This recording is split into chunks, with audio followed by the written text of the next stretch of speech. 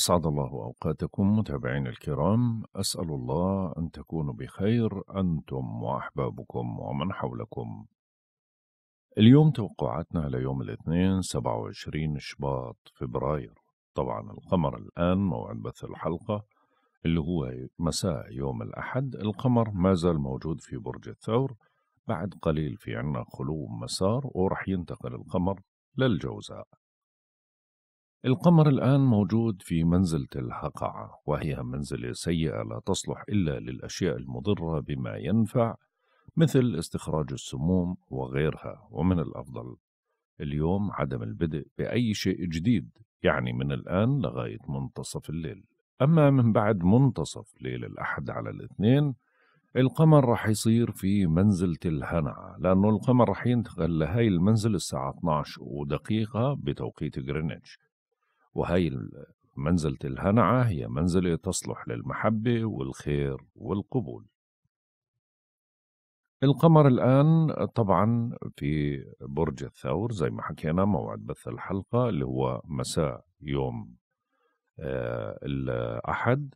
آه في زاوية الآن بدأ تأثيراتها هي زاوية التثليث الإيجابية اللي بين القمر وبين بلوتو. واللي ذروتها الساعة 2 و42 دقيقة عصرا بتوقيت غرينتش يعني بعد 42 دقيقة من بث الحلقة ذروتها. يعني هي بدأت ورح تستمر لغاية ساعات الصباح.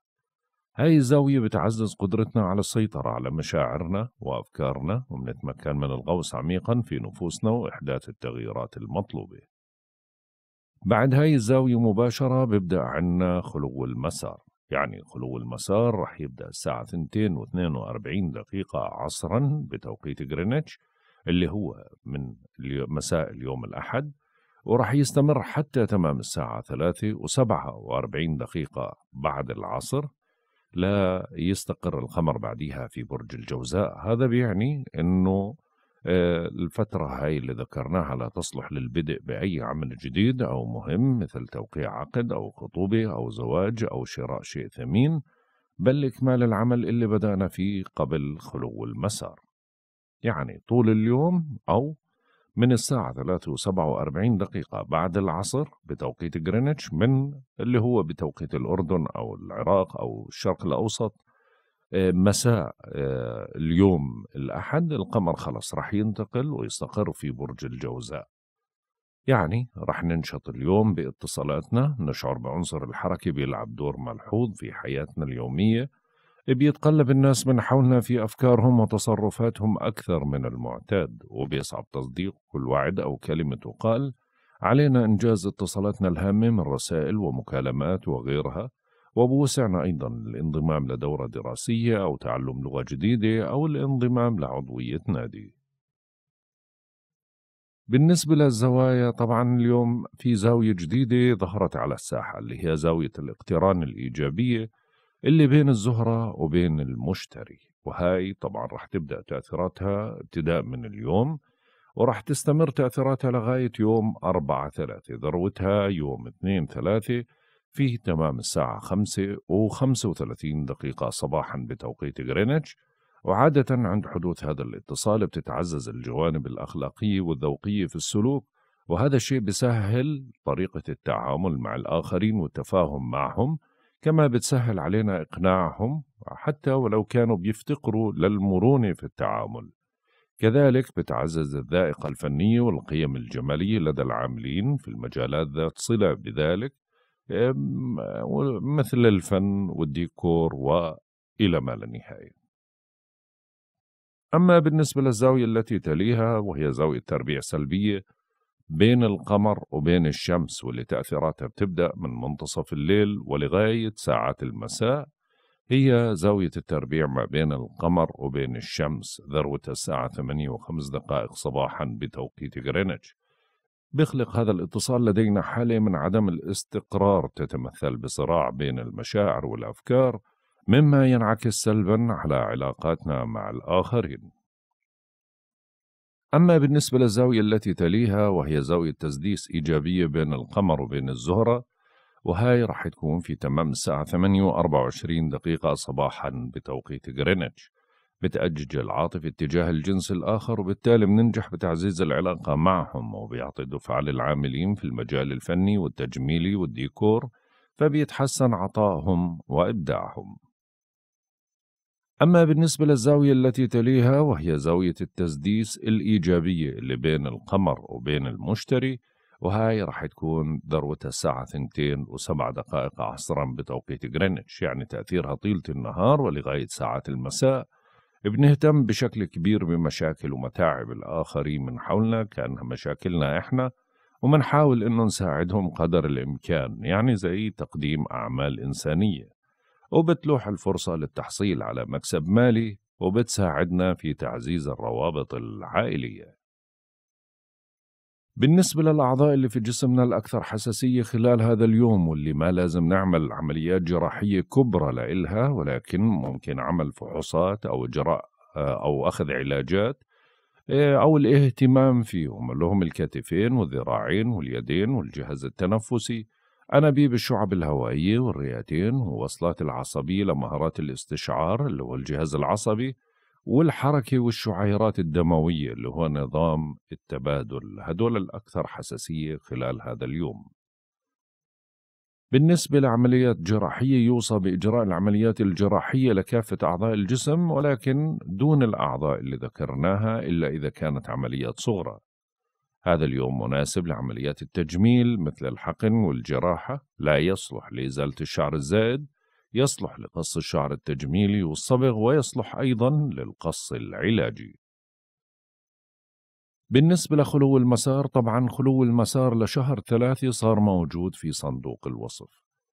بالنسبة للقمر بما أنه موجود في برج الجوزاء خلو المسار القادم بيبدأ يوم الأربعاء واحد ثلاثة في تمام الساعة واحدة وسبع دقائق فجرا بتوقيت غرينتش وبيستمر حتى تمام الساعة 42 دقيقة صباحا بتوقيت غرينتش لينتقل القمر ويستقر في برج السرطان.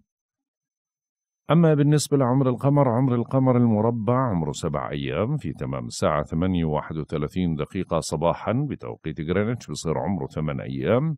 نسبة الإضاءة بتصير 50% بالنسبة لمزاج الكواكب وطباع الكواكب لهذا اليوم الشمس في الحوت حتى يوم 20 ثلاثة منتحس الآن بنسبة 50% ولكن في ساعات المساء بتصير منتحسة بنسبة 10% القمر في الجوزاء حتى يوم واحد ثلاثة سعيد الآن بنسبة 15% في ساعات المساء بصير منتحس بنسبة 10% عطارد في الدلو حتى يوم اثنين ثلاثة منتحس الآن بنسبة 25% في ساعات منتصف الليل بصير سعيد بنسبة 10% وبكمل طيلة النهار على هاي النسبة.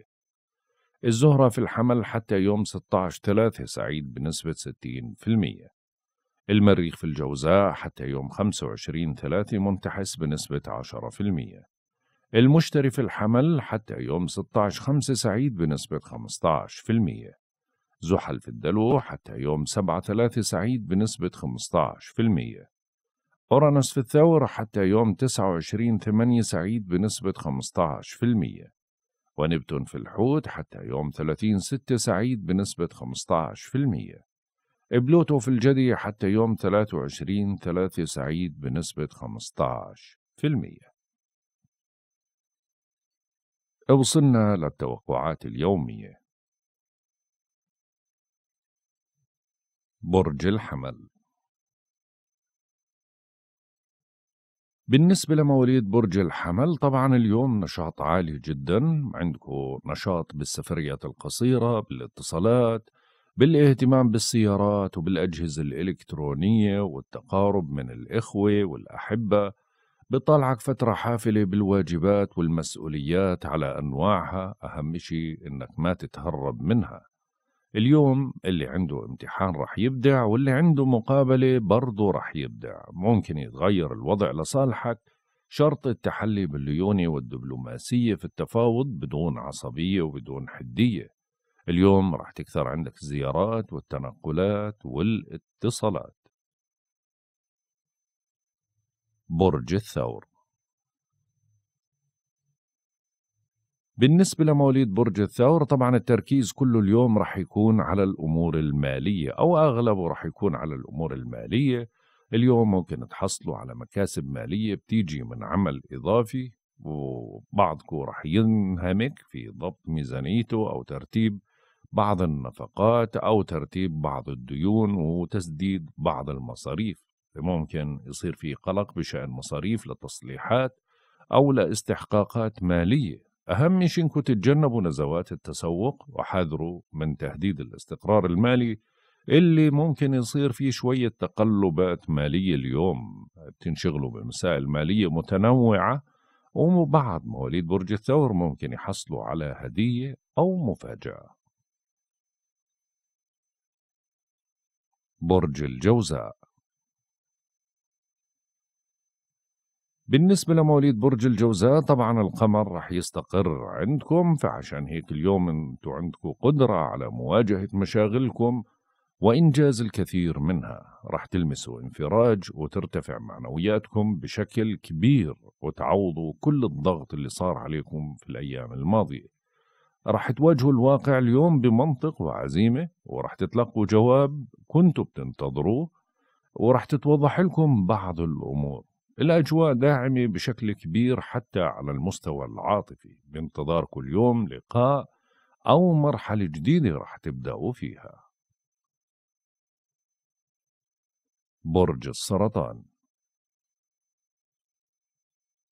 بالنسبة لمواليد برج السرطان طبعا القمر رح يستقر في بيت المتاعب اللي هو في الجوزاء فعشان هيك يومين وربع بدكم تتحملوا بشكل كبير فبنال التعب منكم على بدكم تضعوا سلم الأولويات للعمل الضروري والعاجل. تنتبهوا كثير لغذائكم وراحتكم ابتعدوا عن الأجواء الصاخبة والمشحونة بالانفعالات. خذوا قسط من الراحة ممكن تعيشوا لحظات فيها نوع من أنواع الصعوبة. حاذروا من الفشل والالتباس أو التراجع الصحي. واللي بيوعدكم بشيء اعرفوا إنه ما رح يوفي فيه خلال هذا اليوم. حاولوا قدر الإمكان إنه ما تعيشوا على أمل ودائما خلي التفكير في أشياء مفاجئة ممكن يصير. برج الأسد.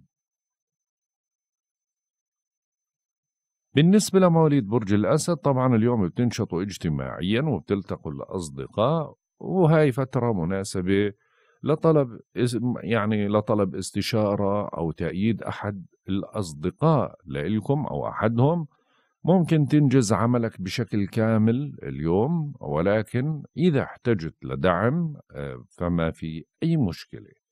استشير أهل الاختصاص بتطمئن مخاوفك وبتفرح لحملة تأييد ودعم لقضيتك. أهم شيء إنك ما تستسلم بل تفاءل بالخير. اليوم رح تنشطوا اجتماعيا ومعظم مكاسبكم من علاقاتكم وبعضكم رح يتوجه له دعوة لحضور حفلة أو مناسبة.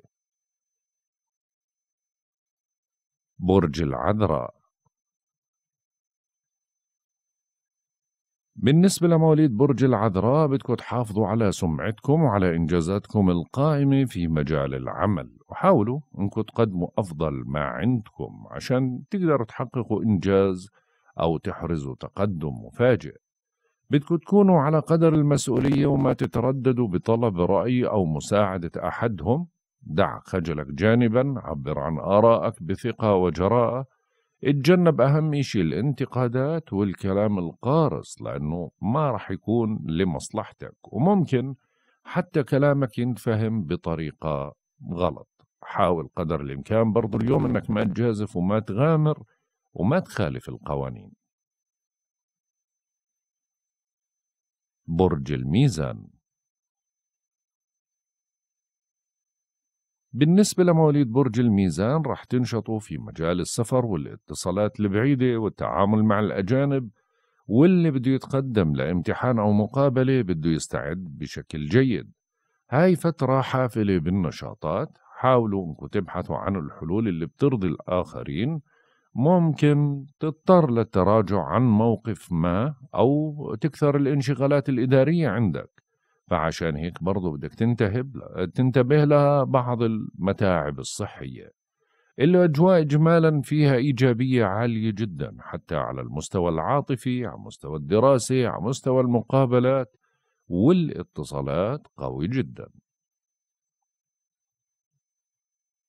برج العقرب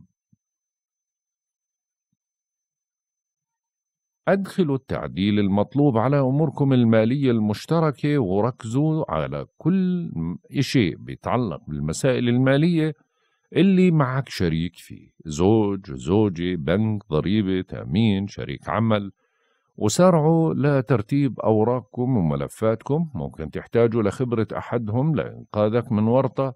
أهم شيء إنك ما تبقى وحيد وما تتقوقع وشارك في كل النشاطات وبادر لتصحيح الأخطاء. أهم شيء لا تكفل حد ولا تضمن حد خلال هذا اليوم. معظم الأمور إلها علاقة بالأموال المشتركة فبدك تكون حذر. برج القوس. القمر صار مقابلكم تماما بوسعكم تعزيز شراكاتكم سواء في العمل أو العاطفة.